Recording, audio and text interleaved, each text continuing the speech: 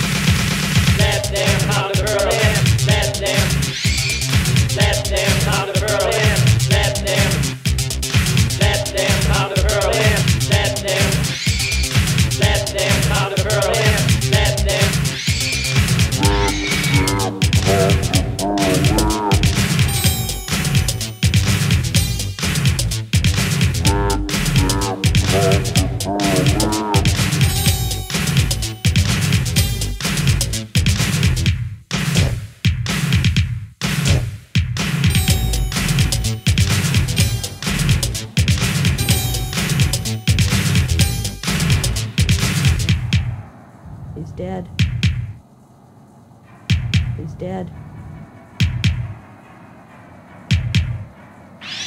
There are some who say that communism is the wave of the future.